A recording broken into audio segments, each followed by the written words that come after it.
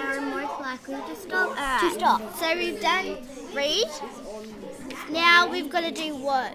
So what the question is asking us to do is, you know how it says most, it's highlighted in bold. So what the question is asking us to do is find out which number of the four numbers is most like most likely to stop on. Stop on, yes. So we've done what? Mm-hmm. So Now we it's have how. to do how.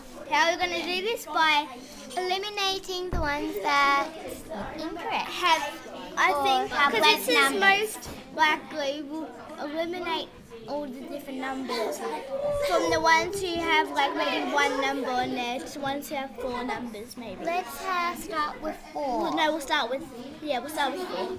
So there's one four and there's two fours. So Three fours. There's two. There's three fours. Let's go to three. So There's only one, so One. that can't be right. no, so it's not three. So three's out. Two. There's only one, two. So it can't be two. And how many One, ones? two, three, four. Alright, so we know it's four threes, no, four, three fours and four ones.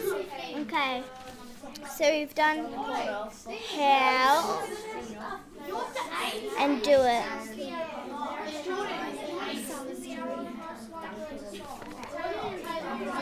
So it's I it's got to be the one because there's one extra than 4 Mm-hmm.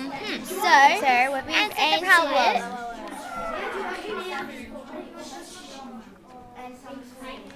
And so it's going to be the one. That's our answer. Wow.